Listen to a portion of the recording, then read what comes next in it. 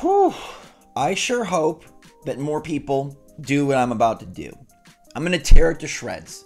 I'm going to rip it apart because that's 60 minutes now in 2023 without a new game announcement and with nothing.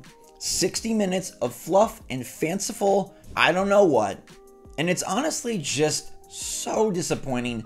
It's a disservice to the fans, and frankly, it's a disservice to the company itself. Good morning, Mario, and good morning, Switch fans. I cannot believe that we had another 35 minutes of basically nothing from the Pokemon Company. Kudos to them for putting on these shows multiple times per year, but we now have February and August combining for 60 minutes of Pokemon glory. And instead, here's the story. Uh, nothing nobody really cares about. Sure, there are plenty announcements for the TCG, the World Championship Hall towel thing. Okay. We got a bunch of mini webisode series. We got Pokemon Go and Pokemon Sleep. This Pokemon Presents was full of nothing. We got a new trailer for Detective Pikachu, and let's start there because Detective Pikachu Returns has a high and a low. It really runs the gamut so quickly. And please let me know in the comments if you think I'm crazy or if you agree that this is just downright disgusting. Detective Pikachu Returns is $50. Hey! More cheaper Nintendo Switch first party releases. I'm all for it. Detective Pikachu Returns looks like a 3DS game. Holy crap, does that game look bad! Now, I'm fully aware that graphics don't mean everything. And the story and the charm and the mysteries do seem kind of interesting, and there's a decent following for the first game, so getting a follow up is much appreciated. But you're telling me in the four and a half to five years since this game was first announced, they, they couldn't have done a graphics pass? They couldn't have done a little boost, a little day one patch to improve things? Those faces, those faces. And on the heels of Pikmin 4, which is quite possibly the best looking Switch first party game, it's just so disappointing. I do not understand why the Pokemon Company, with the millions and billions of dollars that they have, with 20 million copies of Scarlet and Violet sold, 25 million copies of Sword and Shield sold, all sorts of spin offs and legends and Let's Go, they have the cash. Invest in someone that knows graphics. You got to bring in an outside hire? Bring it in. Why are we subjected to literal handheld graphics on a home console that has been a home console hybrid for seven years now? Why is Detective Pikachu Returns getting such a lackluster treatment? Why did Metroid Prime Remastered get way more visual prowess to the maximum than Detective Pikachu Returns? Scarlet and Violet is a whole nother beast. We can argue about the performance of that game, but at this point, I say it's sure disappointing that they just don't care. They just don't care about graphics, they don't care about performance, and they're willing to just put stuff out and say, it has Pikachu, you will love it. Let's see how long that lasts for.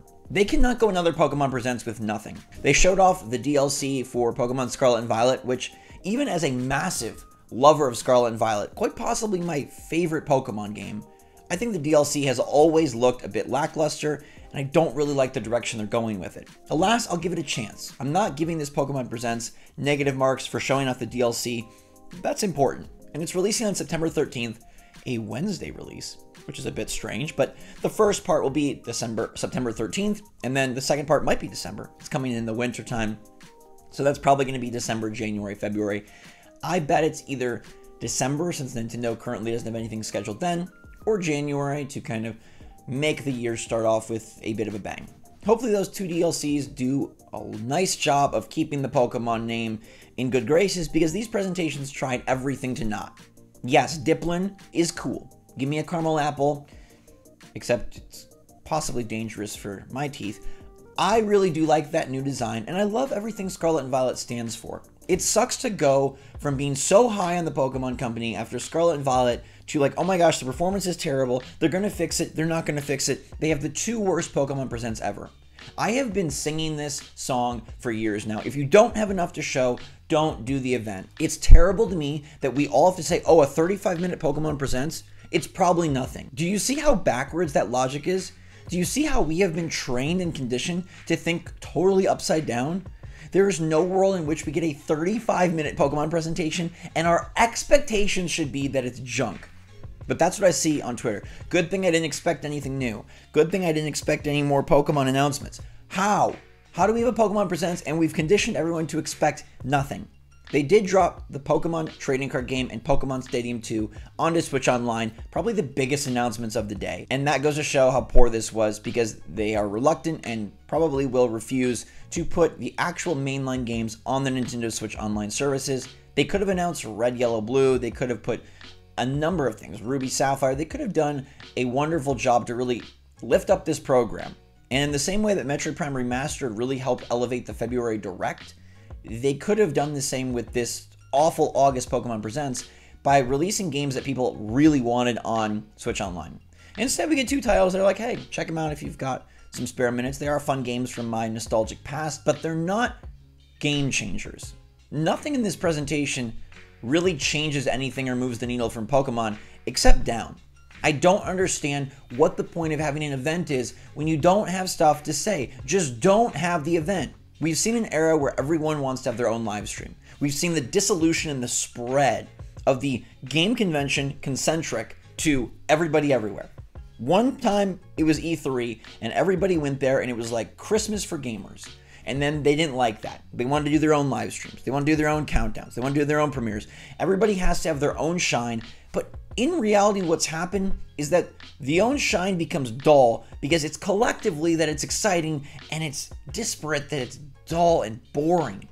The Pokemon Company is guilty of this, maybe more than most others, because they still insist on having long shows and then leaving you saying, WTF. What was the point of that presentation? And really, what is the future of Pokemon on Switch? It seems like we are entering a no man's land because of the new system that is apparently launching next fall. In the past, the Pokemon Company would not go so long without announcing a new title, and it does really feel like Detective Pikachu Returns is just being shoved out there like, please go. You're $50, you have awful graphics, you're coming out, and we hope that you maybe sell. Possibly. It's Pokemon. It will.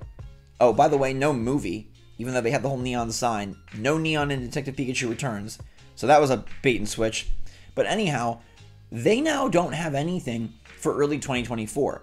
And I don't know that they'll have anything for mid 2024.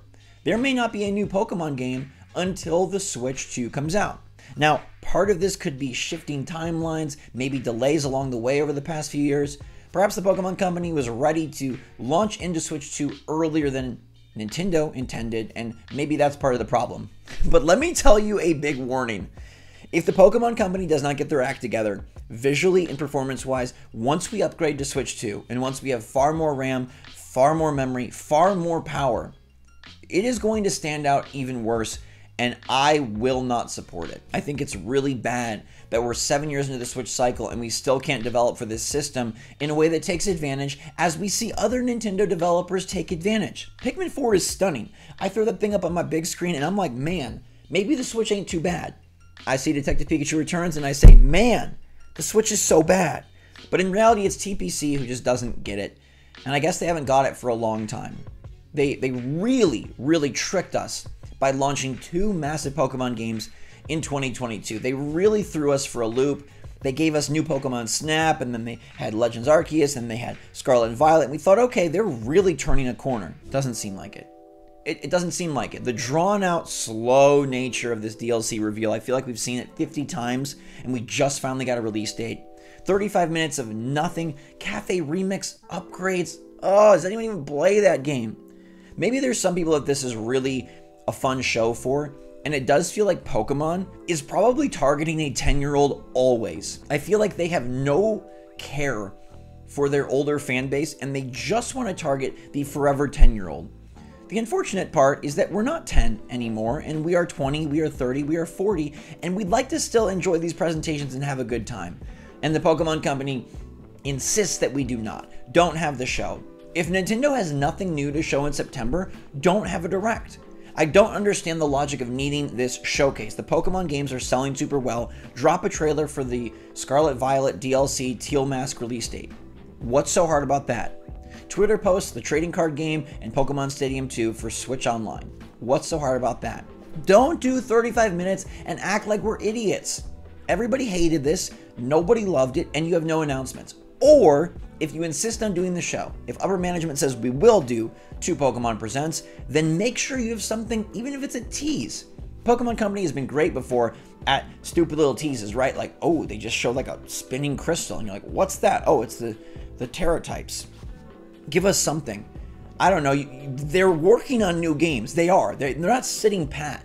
They're done with the DLC. They're not working on nothing. They have things in development, and believe me, they haven't been working on Detective Pikachu Returns for a while now. They have new stuff cooking, and maybe they're not ready to show us a, a trailer or a vertical slice. Give us a tease. Throw a Pokemon on the screen. Get Ken Sugimori to draw something up. Come on. There's no reason that we should be sitting through 35 minutes of boredom and nothing. And I implore the Pokemon Company to do better. And I'm telling you, the reckoning is coming.